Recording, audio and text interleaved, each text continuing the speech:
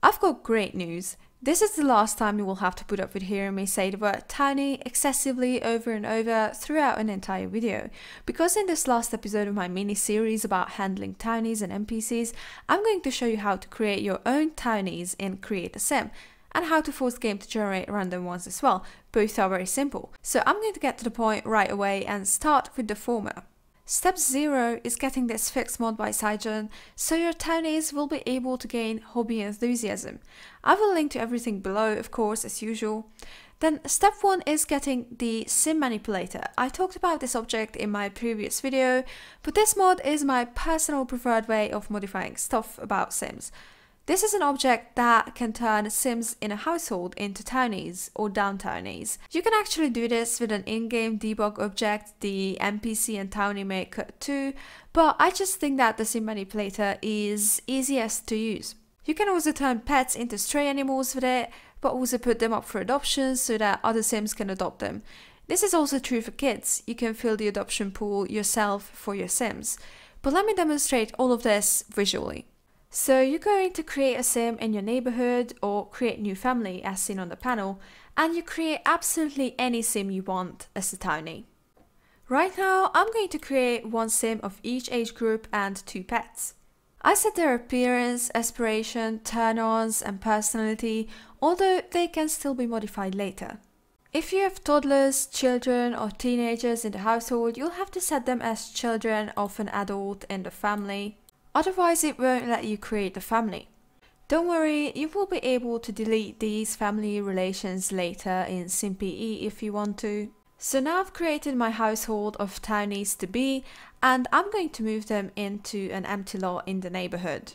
But before you do that, I recommend you turn on testing cheats on the neighborhood screen just so you can still modify things about your sims before you turn them into townies. So I'm here at the new household. You can modify pretty much anything about them still, either with debug mode, the sim manipulator, the FFS lot debugger, or Gussy Up. All of the stuff that I was talking about in the previous video, so if you want to know more about this, then watch that. I'm gonna buy the sim manipulator now, found under Deco and Sculptures. And the FFS lot debugger from Miscellaneous Miscellaneous and I'm gonna give this sim some skills thanks to testing cheats. Gonna give him a job as well thanks to sim manipulator. And I'm also gonna give him a degree with the lot debugger. So once you've customized your townies and you're pleased with them, you can start letting go of them by clicking on the sim manipulator and choosing family turns him into townie or turns him into downtownie or puts him up for adoption or turns him into stray. I recommend you start this with the kids and the pets in the household because if you send the adults away first, they will get taken away by social services either way. With a kid and a pet, you have the option not to have them taken away by social services, but to turn them into townies or strays. You can do whichever you want. Hello, this is me editing. Uh, technology did not cooperate with me, as usual, at this part.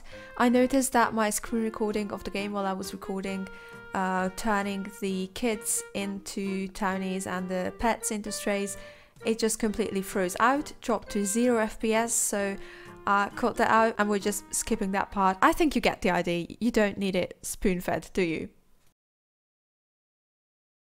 I will turn this teenager into a downtownie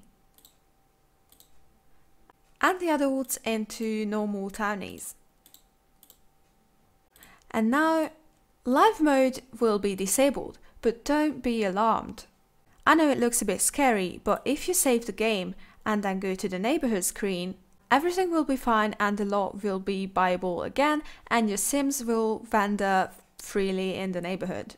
Another thing that I want to cover in this video is spawning random townies by force, because sometimes you may not feel like creating sims, but you want something quick and fun to work with. So if you have testing cheats on and you have a lot loaded up, you can shift click on a sim and choose spawn, more, NPC and townie maker. It will spawn this repo gun looking thingy. This is ideal for spawning random townies because you can set the age, the skin tone and the gender of the sim that you want to create. After setting the requirements, you can click generate townie. and it will show a candidate for you. If you like what you see and you want the sim in your neighborhood, then click the gun again and choose keep. Then the sim will get added to your neighborhood. If you don't like what you see, then you can discard them by choosing kill. With this method, you can generate as many townies as you want. But don't forget to always save the game before you create the lot. Then you can of course further customize the sims that you've spawned in the usual ways if you stumble upon them or if you call them over or if you teleport them over with something like the sim blender. With the NPC and Townie Maker gone, you can also do things like generate NPCs, although that is not very necessary because the game generates those automatically for you whenever there is a position that needs to be filled. But you can also turn already existing townies into garden club members, vacation sims, social group sims, iconic hobbyists, etc. So that would be all for this video. I told you it was going to be short and sweet. And yes, I totally did not record the ending of this when I was originally recording the video. That's just the state of me at the moment. Anyways, I hope you found some of it useful. If you did, give it a thumbs up. And if you'd like to see more Sims 3 content from me in the future, feel free to subscribe to my channel. Thank you so much for watching, have a nice day and see you very soon.